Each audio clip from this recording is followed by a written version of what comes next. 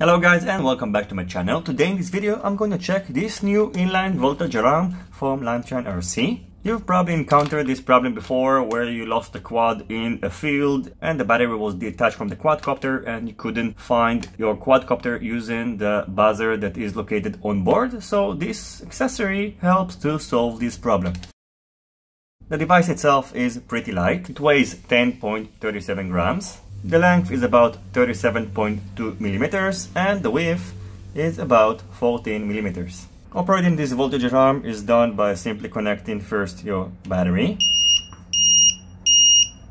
and then you can select the voltage per cell the alarm is going to be triggered. You have four options 3.4 volts, 3.5 volts, 3.6 volts and 3.7 volts and you can switch it by simply short pressing this button over here. The alternative of course is to use one of these buzzers but the problem is that using this balance connector is not as steady as using the XT60 connector and this buzzer is more prone to be detached from the battery on a crash. So if you're going to connect this device to your quadcopter and then to your battery, I think it's going to be a little bit more durable. In terms of weight, the weight is very similar. I think this device can be ideal for a quadcopter that doesn't have an onboard buzzer and if you want to fly it line of sight so you can hear it because this buzzer is not very loud for example, this buzzer is much louder. I'm going to connect a battery with a very low voltage to trigger the alarm and to show you the difference.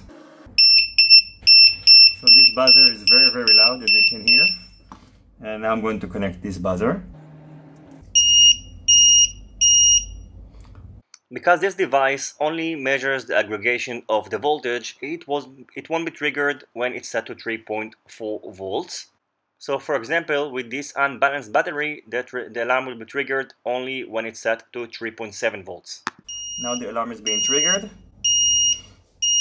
And you can hear that this buzzer is much louder than this buzzer. Because... So of course the reason that my depleted battery didn't trigger this alarm is because it's getting only the total voltage of the battery and then split it by cell. So because the total voltage was over 3.4 volts per cell, it didn't trigger the alarm. So I think what Lantian RC should improve for the next product is just to put a louder buzzer because I don't think this is loud enough and even if you're gonna fly it in short range, I'm not sure that you're going to hear it. So thank you for watching this video. I hope you enjoyed it and it was useful for you. If you have any questions questions about this product, feel free to ask it in the comment section below and see you on my next videos. Goodbye.